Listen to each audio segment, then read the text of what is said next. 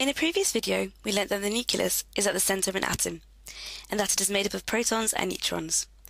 And around this central point, we find the electrons. We also know that in a neutral atom, the number of electrons always equal to the number of protons. So in a neutral atom of carbon, there are six protons, which mean there must be six electrons.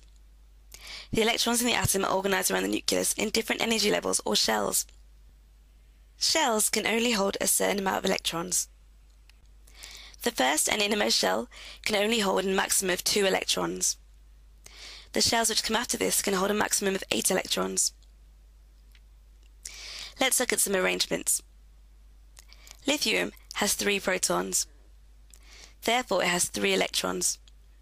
The first two electrons are placed in the first shell, closest to the nucleus, and the third electron is placed in the second shell.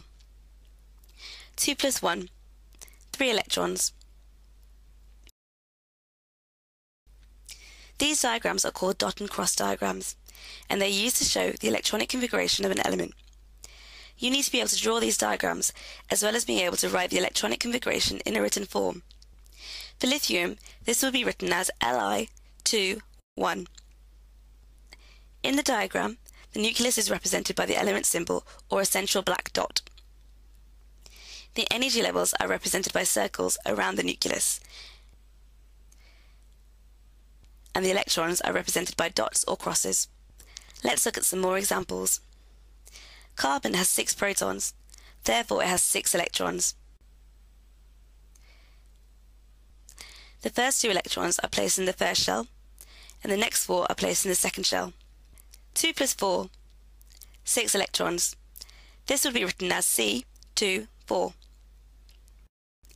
Magnesium has 12 protons, therefore it has 12 electrons.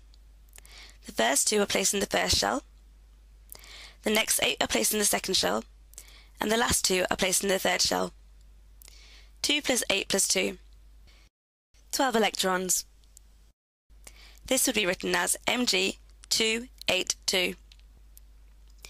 The organisation of these energy levels is what gives elements their different reactivities. The number of electrons in the outer shell of an atom tells you the group number to which they belong on the periodic table.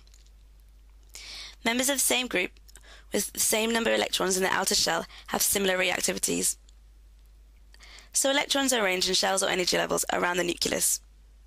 Each energy level has a maximum number of electrons it can hold. The lowest energy level is always filled first and can only hold two electrons, while the levels after this can hold a maximum of eight electrons.